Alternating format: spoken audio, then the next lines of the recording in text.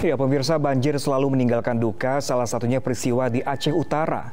Dua orang balita berusia lima tahun tenggelam terbawa arus saluran pembuangan air banjir di irigasi di wilayah tanah Jambu Aye. Salah satunya meninggal dunia.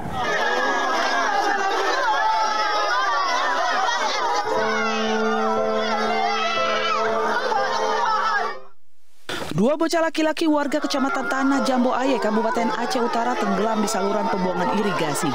Satu di antaranya berhasil diselamatkan dan satunya meninggal dunia. Korban selamat dalam peristiwa ini bernama Tekan Zulkarami, usia lima tahun, dan saudaranya Kashifal Mustafi ditemukan sudah tidak bernyawa. Suasana sedih dan histeris keluarga tidak terbendungkan saat masyarakat berhasil menemukan korban Mustafi yang sudah tidak bernyawa. Keduanya merupakan saudara satu keluarga yang sedang saling berkunjung.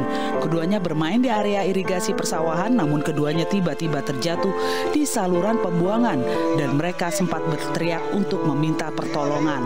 Warga yang berada di lokasi kejadian bersama-sama mencari korban yang tenggelam kemari mau cuci kaki uh. karena ini agak um, licin ya langsung kepleset hmm. di sini banyak anak-anak sebenarnya main-main uh. di sini uh. tapi setiap hari anak-anak ini memang kemari dia mainnya yeah, yeah. kemari di sini kan mudah mudah terpleset uh. karena ini yang bangunan apa kan eh, beton ini ini kan nggak ada tangga. Yeah. Nah, harapan kita, kok emang di sini memang orang orangnya orang samping sawah, yeah. orang sawah pulang dari sawah, bersih bersih. Di sini nyuci nyuci kaki, yeah. bersih bersih di sini. Tapi yeah. kan nggak ada tangga, ya kan banyak yang terpleset. Isak tangis mewarnai prosesi pemakaman di Desa Arongan Lese, Kecamatan Baktia, Kabupaten Aceh Utara, Aceh.